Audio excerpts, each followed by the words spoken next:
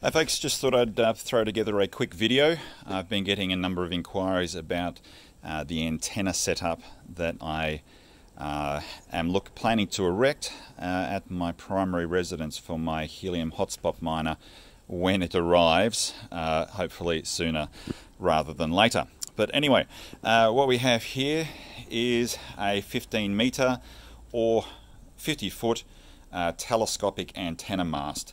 Uh, it is primarily constructed for uh, television antennas, but is equally applicable to uh, to radio antennas. Uh, you quite often see these being used as a uh, a base antenna for CB radios, two-way radios, and the likes. So, uh, looking up the pole here, as I say, this is telescopic in nature. Each section is approximately five meters in length correction to that, every length is three meters in length and there are five of them. Uh, and as you notice there, uh, each length actually has the guy wire points uh, in place. Uh, the height of this assembly is going to definitely need to have guy wires. That's uh, makes this job a little bit tedious um, and not something you throw up in half an hour, but is definitely well worth it. So I have my guy wire down here. Uh, all right, running up the pole, uh, given that it is going to be mounted on the roof and my uh, router, if you like, my internet source is down in my living room, uh, I'm going to be running a Cat 8 uh, cable up to the uh, up to the hotspot. the Cat 8 cable has the greatest resistance to uh, to um, what's the word I'm looking for for uh, interference, electrical interference, and it's also weatherproof which means that that's the best cable to use. Uh, for a length that long, you could use Cat 6, uh, but Cat 6 is actually generally not rated for outdoor use and is more prone to actually receiving uh, interference in the line. And uh, I'm trying to minimize as much interference as I can and produce the maximum gain for uh, uh, transmitting and receiving out of my antenna at the top which leads me in this case to which antenna is that. uh, that just happens to be the antenna that I have with me at the moment, uh, which is the 5.8 RAK, uh, RAK antenna. Uh, I also have three 3 dBi antennas ordered through Nebra and I have an 8 uh, dBi antenna that is ordered from RAK. Uh, those, the latter, are still actually en route to Australia. Okay, so the box here is where my miner will be actually housed. Uh, the antenna will be up the top, and the uh, the box here, which is a, an IP65 weatherproof box, uh, they are not waterproof, meaning that I can't submerge it in water, but uh, this is the industry standard for uh, keeping any electrics safe from uh, weather, and that can be even a direct jet of water. Uh, whilst here in Queensland we do have pretty major thunderstorms, um, I feel in this one that we're going to be very safe. So uh, inside, uh, the weatherproof stripping is there and it obviously gets screwed into place. Uh, this will be mounted at the top of the pole, uh, approximately one metre down from the, the base of the antenna and that'll be held in place with some uh, U-clamps and uh, affixed to the post.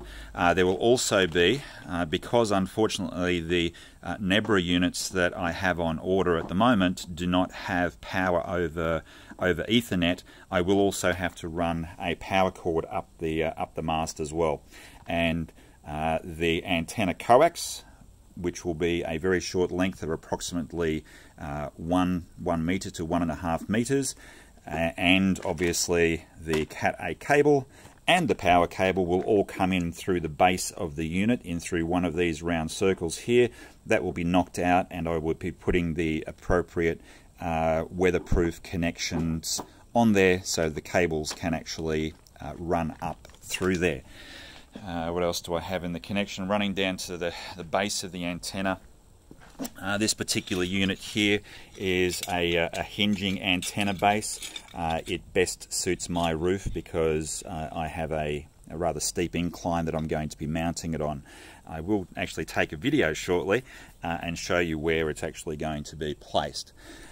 Uh, so I think that's it for the moment.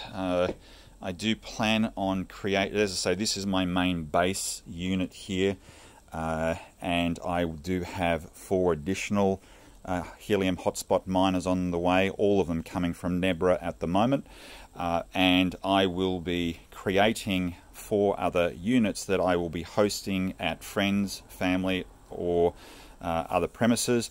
I will have a setup similar to this, uh, where I'm looking to actually mount the the uh, the miners external to the house.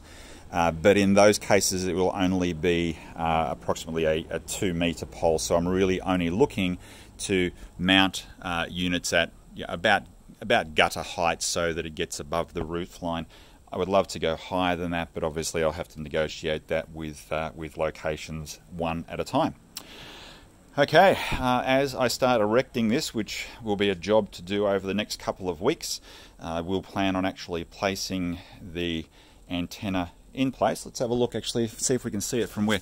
Yeah, okay, so that, that location up there to uh, the right hand side of the roof is actually where the antenna is going to be placed. It'll have the base down there uh, the distance between that point and the base is approximately 1.5 meters, meaning that the first connection will be up here at approximately 1.5, meaning that I can then actually stand on the roof uh, to extend these units uh, up as, uh, as I need to.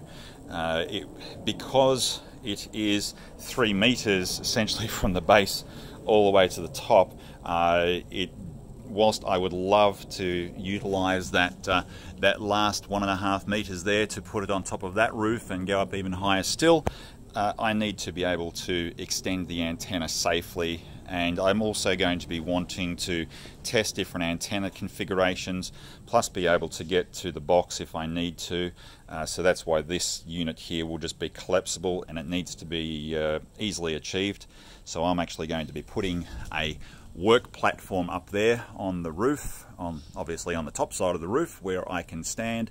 I've got uh, anchor points which funny enough were from my previous uh, antenna mast but that antenna mast was only 5 meters uh, so whilst I still have that I won't be using it but I will be using the anchor points as my anchor points to go with my harness that I will be using when I'm up on the roof actually working on this.